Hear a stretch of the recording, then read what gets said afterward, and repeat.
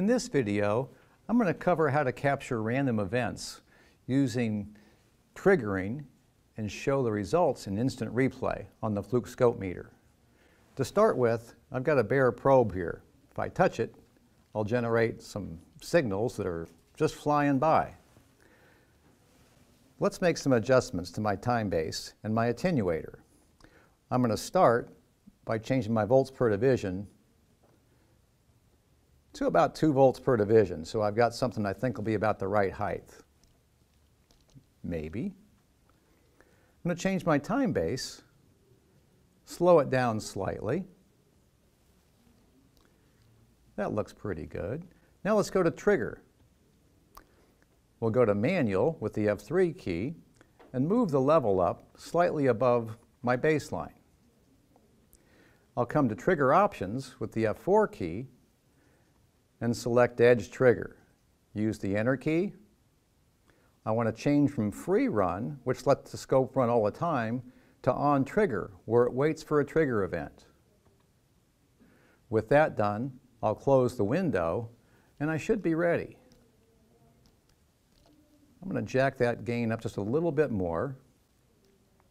And there you can see some events that are coming through the scope.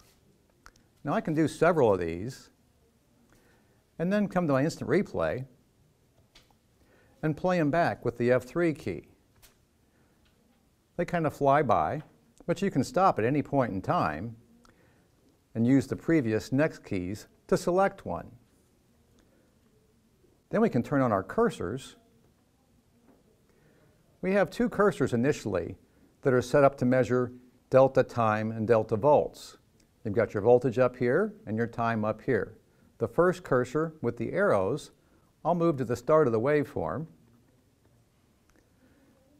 I'll switch to the second cursor by pressing the F2 key.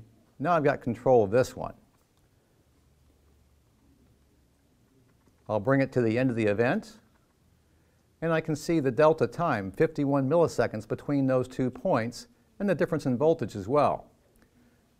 If I wanted to know the frequency, I could press the F3 key to toggle from time to 1 over time and actually see the frequency at 19.53 hertz.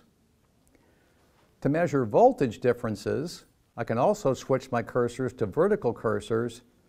The bottom cursor is now being controlled by my arrow keys. Pull that up, switch cursors with F2, pull the top cursor down, And now I can measure the peak-to-peak -peak voltage, 2.02 volts, peak to peak on that particular signal. And that's how you capture random events and use instant replay to analyze on the Fluke scope meter.